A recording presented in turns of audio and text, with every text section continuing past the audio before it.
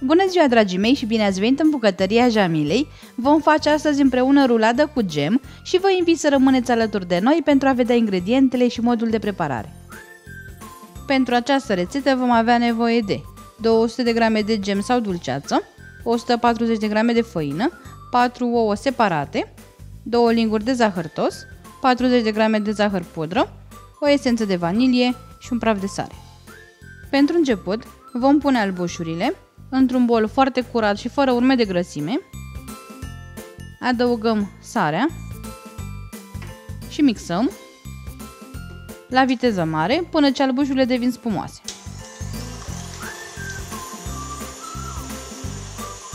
Când albușurile au devenit spumoase, adăugăm zahărul, puțin câte puțin, zahărul tos, cel pudă îl vom folosi la gălbenușuri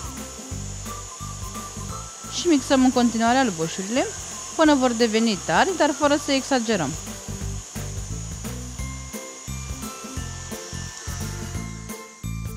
Albușurile sunt gata, cam așa trebuie să arate, trebuie să fie ferme, dar fără să exagerăm.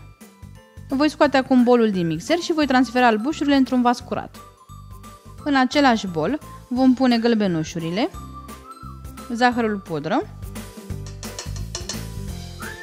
și esența de vanilie.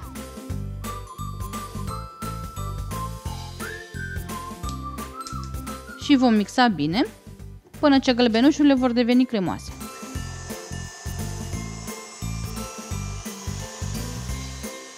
Când gălbenușurile au devenit cremoase, vom opri mixerul.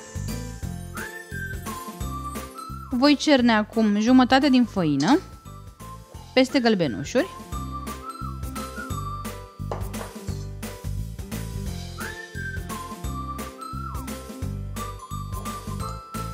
Și voi incorpora ușor cu un tel pentru a păstra cât mai mult aer în gălbenușuri.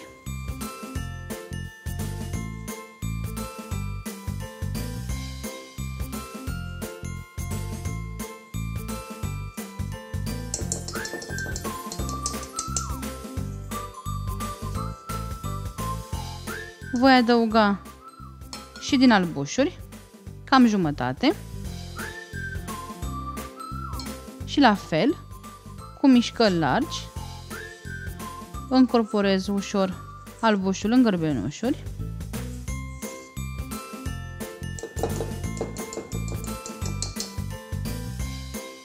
Mai pun din făină, de fapt restul de făină, o cern ușor.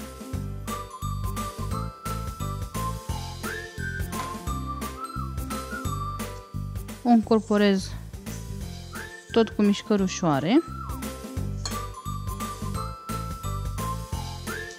și adaug și restul de albușuri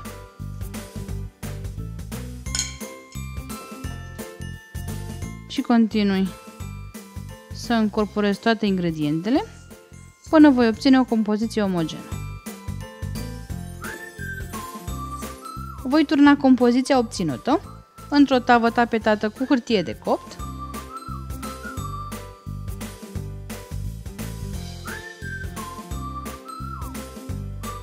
Nivelez foarte ușor totul.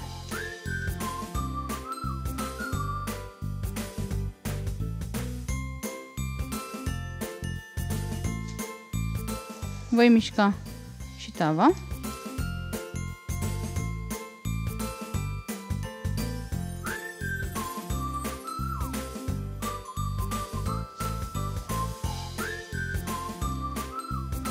După ce am întins foarte bine aluatul, voi da tava la cuptor în cuptorul preîncălzit la 175 de grade pentru 10-12 minute. Foaia de pandișpan este gata, am scos-o din cuptor și am lăsat-o să se răcească pentru 2-3 minute. O voi pudra acum cu zahăr pe toată suprafața.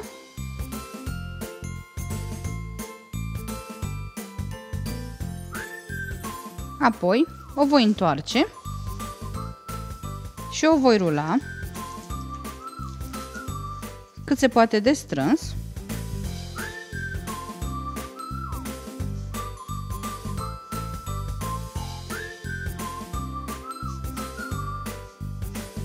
Apoi o voi lăsa să se răcească cât să ajungă la temperatura camerei. După ce pandișpanul s-a răcit complet, îl vom derula, înlăturăm ușor și foaia de copt, îl vom unge cu dulceață sau cu gem, nu punem o cantitate mare, eu am aici dulceață de fructe de pădure, dar puteți folosi orice fel de dulceață sau de gem doriți. Sau de ce nu, cremă de ciocolată sau cremă de vanilie fiertă. Vom rula acum din nou pandișpanul, cât de strâns putem.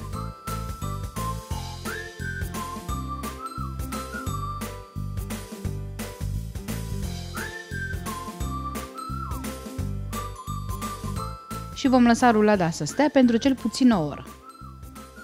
Rulada cu gem este gata, am pudrat-o cu zahăr și am tăiat marginile pentru a vedea cât de frumos arată și în interior. Este extrem de ușor de preparat, pufoasă, aromată, sper să o încercați și voi și să vă placă. Am ajuns și la sfârșitul acestei rețete, așa că vă dorim poftă bună și vă așteptăm cu drag la rețeta următoare. La revedere!